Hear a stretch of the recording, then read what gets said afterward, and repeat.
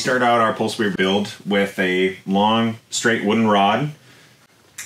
And at one end, we'll secure an elastic loop. So here I've got this blue elastic tubing. And this tubing will form into a loop, like so, maybe a little longer. And we're gonna attach it here at the back. So that, as my hand stretches through the loop, I can grip the, the shaft of the, the pole spear pull this thing back and release so it goes forward. Now at the other end, the business end of it, we'll be using this wood to enclose a spear shaft, more or less, or a, a pointy bit of metal to go through our fish. And so we're gonna take about nine inches of this stainless steel rod. You don't have to use stainless, you can use regular spring steel, any rod from a quarter to three eighths of an inch will work. And this will be at the center of the dowel. Now we're gonna sharpen it and it will go straight through our fish. But without some way of keeping the fish on, you know, it would come right back off that sharpened tip. So we're gonna use something called a flopper. And this is a rounded piece of sheet metal with a hole in it. And we'll drill a hole through this spring steel shaft, attach the flopper like so. So, we're gonna sit on that wooden rod. When this goes through the fish, the flopper toggles out and engages so the fish can't go anywhere. And we can pull it in and have it for dinner. So right now I'm deciding how long my stainless rod is gonna be because some section is gonna be embedded in my wood and I need some section to be between the end of the wood and the flopper to allow it, allow it to penetrate fully through the fish. And we're targeting, you know, medium-sized fish in the Pacific Northwest, so we're gonna make that maybe six inches between the end of the wood and the beginning of the flopper. And then we need a little bit of room uh, after the flopper to accommodate our sharpened tip. And so we'll make that maybe two inches because we might be shooting this thing into the rocks let's see, two, and then maybe another six inches to the wood, which is there, and another, our drill bit can go in about yay far. So that is going to be the limit.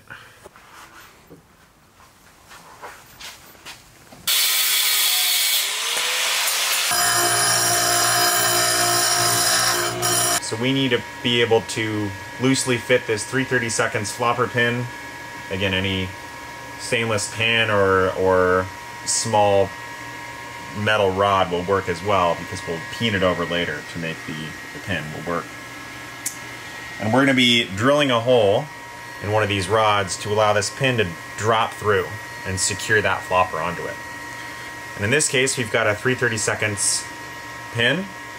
And so we picked a 7 64ths drill bit, so just a smidge larger than the diameter of this pin to be able to accommodate that.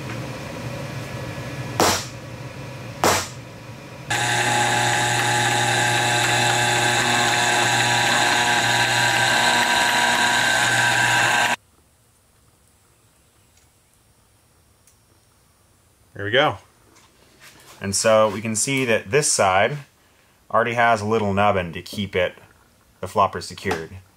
But this other side does not. And we're going to need to take a hammer and mushroom out that side of the pin to allow it to retain that uh, flopper. And you could theoretically do this with just about any rod. Any rod you can peen over. And to peen over, we're going to just pick a hammer, any hammer with um, a little bit of a rounded surface. And it's all about short, light, off, you know, off direction stroke.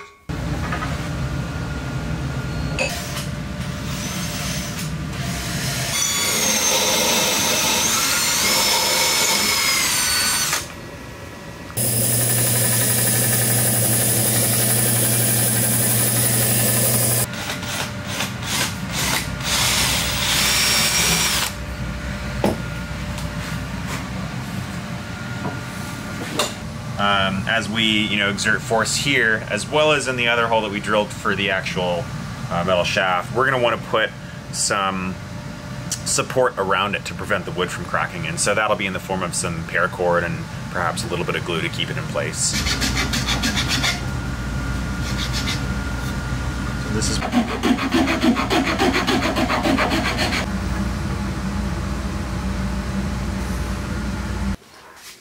think that's probably going to be a little bit better. So give myself maybe another inch. And so we're using maybe like two feet of rubber here. And that's what we're going to use to tie our band. All right. There we have it. Bam. Our rubber. Next, we want to create a wishbone. It's called a wishbone. I've got a bunch of them. Tie line. And we will use this pre-tied wishbone. Just a string with two fat knots on it. I guess we could use this one. Any, you know, needle nose pliers here, surgical tweezers.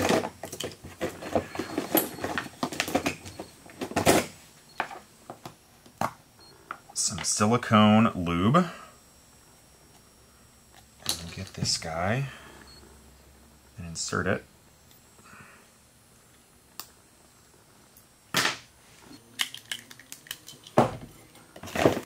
Burn those.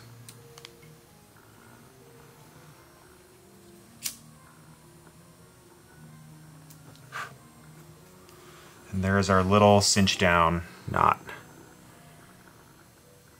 And this style of tie can hold in excess of well over 150 or 200 pounds, given the materials um, you know, are strong enough. So as long as it's tied right, it won't fail. We'll do the same thing on the other side. And if you'd like to learn how to tie this knot, there are quite a few fantastic video tutorials all over the internet. All you have to do is look up cinch knot and spearfishing. And there our cinch knot is again. And then cinch it tight. There is our rubber loop.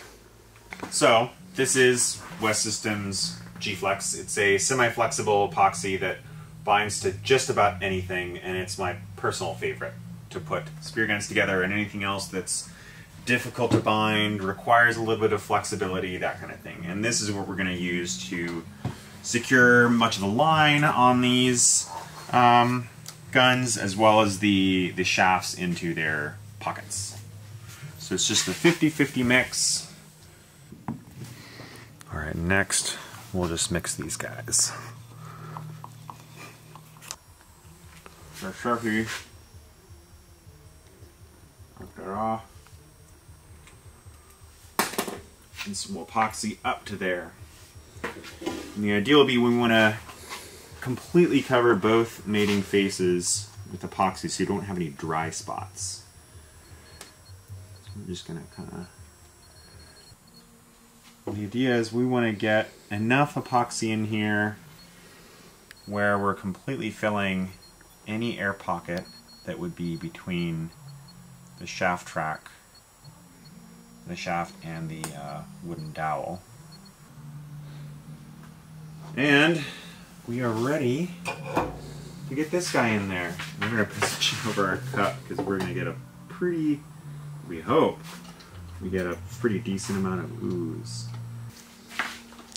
So I'm just going to lean on this for three or four minutes just so that this shaft doesn't come back out. Any air bubbles that I've compressed in there might re-expand and push the shaft out just a little bit and we don't want an air pocket to be in there behind this shaft so when it hits a rock or a fish or anything else like that it's fragile. Alright, and next we're to create you could just tie this on. I'm to use a little bit of epoxy um, here uh, to keep this paracord really tightly wrapped so that it never really comes undone, ever. And really try to tighten, tie this on very tight, as tight as we possibly can. Leave a little free end to burn off later.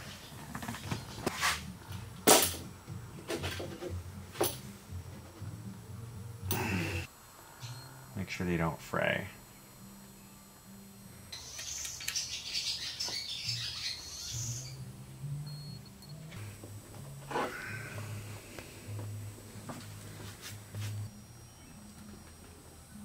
The only thing we really have left to do is add our grip.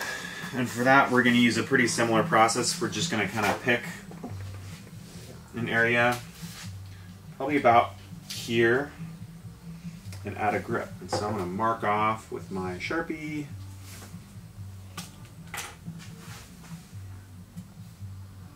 That grip is going to be maybe six inches, seven inches long.